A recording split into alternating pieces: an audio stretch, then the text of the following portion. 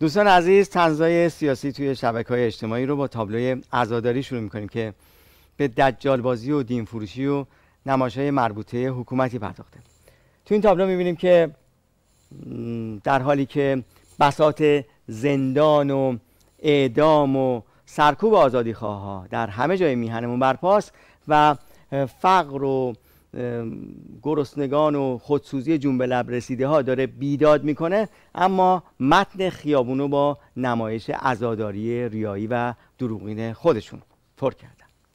چند تابلو و کاریکاتور هم با هم می‌بینیم که در مورد بحران اقتصادی و فساد توی رژیم توی شبکه های اجتماعی منتشر شده.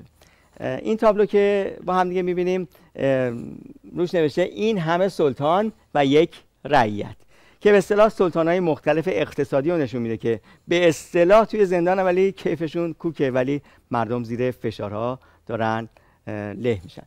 مثلا سلطان دلار سلطان سکه سلطان یورو سلطان سیگار سلطان دزدی سلطان پراید و همینطور سلطان پوشک. کاریکاتور بعدی که می‌بینیم اسمش هست فقر و امید که رابطه امید و فقر رو نشون میده.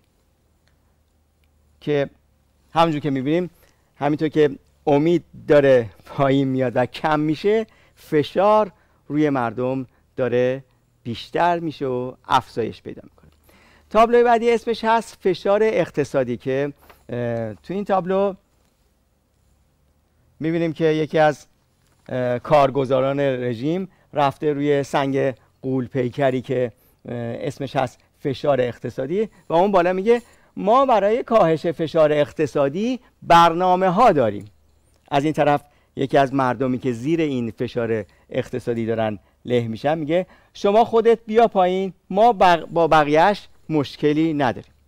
بله البته با پایین کشیده شدن این رژیم در تمامیتش با تمام مقاماتش با همه دستبندیاش همه مشکلات به همت مردم ما حل خواهد شد. ممنون از همراهی شما.